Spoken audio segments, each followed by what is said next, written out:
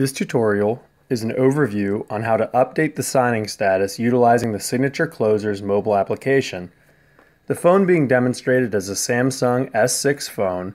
However, we believe that the functionality on all Android-based operating system phones will be very similar to this. To start, we'll push through a status update for this particular closing.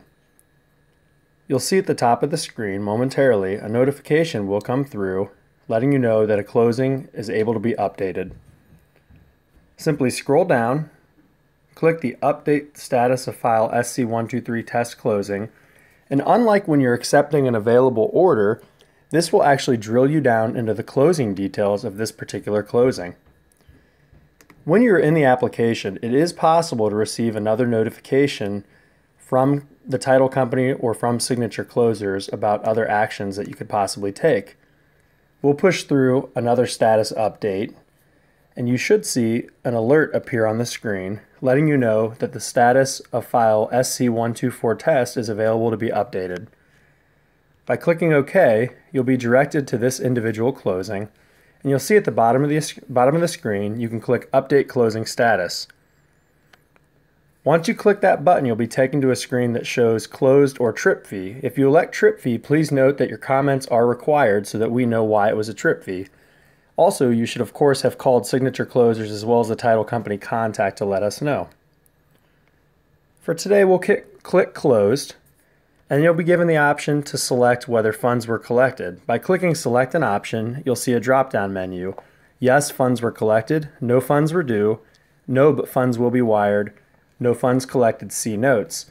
If you do select no funds collected, C notes, it is imperative that you let us know why no funds were collected.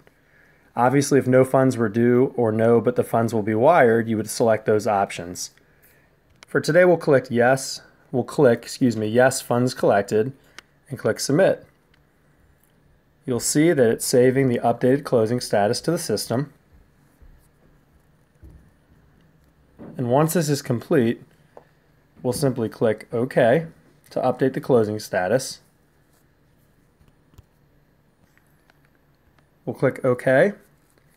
You'll be taken back to the home screen. If you look at the assigned orders page, you'll notice that this order is no longer on it. You can also go into any individual closing that has a check mark appearing on it, such as the file at the top of the page.